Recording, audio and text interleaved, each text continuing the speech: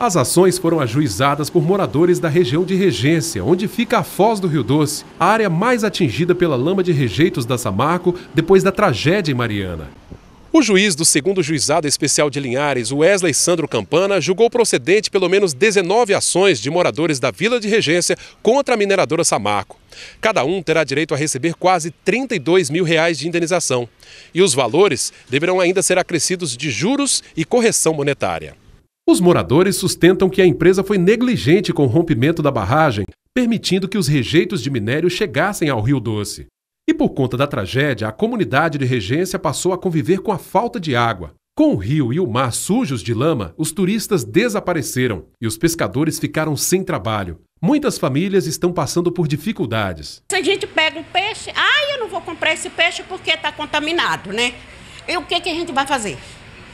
Porque se está contaminado, eles têm que vir beneficiar a gente, né?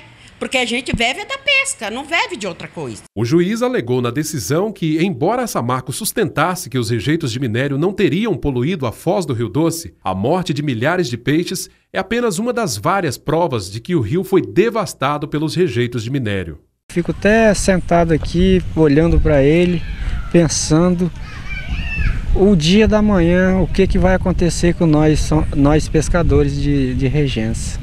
Acabou mesmo a pescaria aqui dentro de Regência. O juiz Wesley Sandro Campana termina a sentença dizendo que, sem assumir os danos causados à população de Linhares, a Samarco se mostra pouco incomodada com os estragos deixados. Diz ainda que tentar defender o que é indefensável só faz demonstrar que a Samarco zomba da cara dos moradores que vivem nas regiões afetadas.